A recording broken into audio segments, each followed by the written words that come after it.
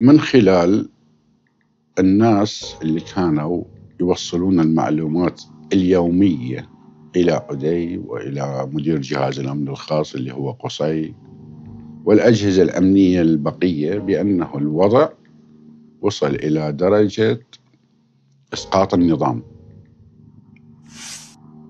تعرف نظام من هذا النوع؟ يحارب إلى آخر جندي للبقاء. اجتمع الرئيس صدام حسين بعائلته رجال الدولة اللي هم من عائلته وأمرهم بأنه تم القضاء نهائيا على اللي سماهم الغوغاء منو اللي من عائلة أبرز اللي اجتمع معه؟ علي حسن المجيد آه، أخو علي أخو علي حسن المجيد حسين كامل صدام كامل عدي قصي آه، كثير من الناس المقربين آه، محمد الزبيدي اللي كان وزير أو عضو قيادة غالبية الحزبيين الكبار أعضاء القيادة والفرق الفرق والفروع أنتم ما كنتوا تحضرون؟ إحنا لا ما كنا نحضر بس يوصل. يعني لما يسكر عدي يقول لكم ولا شلون كانت توصل لا لا يقعد يتكلم معانا وضع العراق اللي يصير وذول كذا ولازم ننسفهم لازم نمحيهم. أبو إيران على أبو اللي حطها جنب العراق وكذا نخلص من مصيبة تطلع لنا إيران. ويستذكر آه كلام آه عمر بن الخطاب يا ليت كان جبلا من نار في بين وكذا وهذا الكلام و يعني أنا هذا عدي ولا صدام؟ عدي. عدي. فتعرف هو يحضر اجتماعات ويجي من يتكلم معانا و...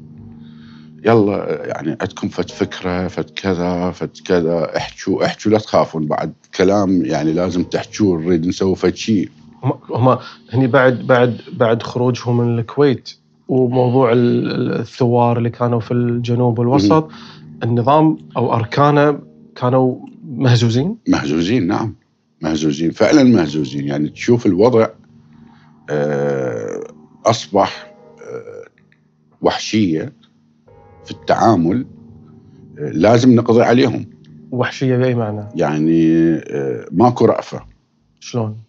إذا حسب التخطيط اللي كان للعملية كلها لإيقاف هذه الثورة أو الشعب الشعبيه ضد النظام. يعني في وقتها حوالي 14 محافظة سقطت. فهذا سقطت بيد الثوار. بيد الثوار يعني بين شيعة أكراد كذا. فما بقت دولة. ما بقت دولة. وكانت توصل تقارير يومية أو بالساعات. قتلوا فلان حزبي وقتلوا ضباط وقتلوا كذا وقتلوا كذا واستولوا على المحافظة الفلانية و... فكانت التقارير تشير بأنه ما يسمى بالمجلس الأعلى للثورة الإسلامية اللي كان يقوده آه، محمد باقر الحكيم. هو اللي آه، كان يدعم بالسلاح والمال ودخل يسموه قوات بدر. فجت الأوامر يعني بعد اجتماع مطول كان بأنه القضاء نهائيا على ذولا